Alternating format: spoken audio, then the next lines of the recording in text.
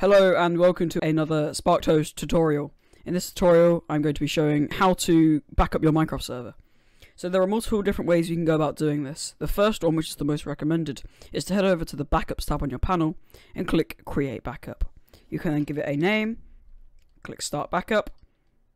It will then start backing up your files to one of our servers. If you do not already have access to use the Backups tab, simply open up a technical ticket and we can enable this for you, as by default they are not enabled on all Minecraft servers. A another method of going about backing up your Minecraft server is by heading over to the File Manager tab, selecting the checkbox here, and clicking Archive. This here will create a tar.gz file with every single file in your Minecraft server. So if you ever want to restore, you can go right click and unarchive. Once the backup is finished, if you want to download this backup, you can click on the three dots, click download, and it will start downloading to your computer, which you can then upload to your Minecraft server. Thank you for watching this video. If you have any questions, feel free to contact us via a live chat or a ticket.